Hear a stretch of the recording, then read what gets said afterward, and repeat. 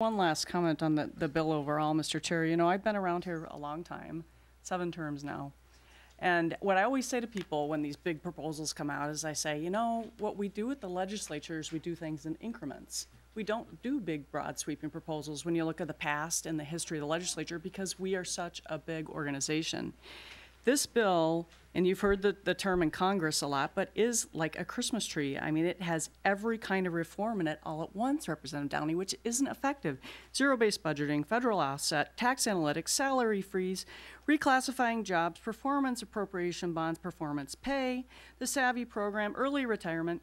We can't do it all. And all the bills that we're seeing from the majority are like this. I guess it's so you guys get to go home and say that you introduced bills and you had a vote on them to do reform, but there is just no way that this legislature can pass all of those items and make the state budget work.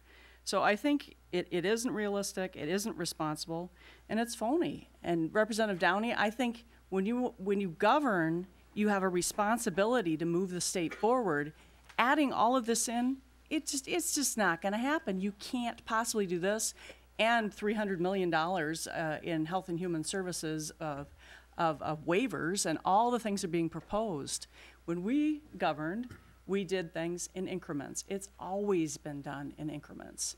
Um, so I wish you would pick one thing or two things, and maybe, as as uh, Chair Abeler said, they're heading towards May 27th. Maybe this is about putting it all out like a smorgasbord, and eventually we're going to wind up with one or two of these. But it's just unrealistic.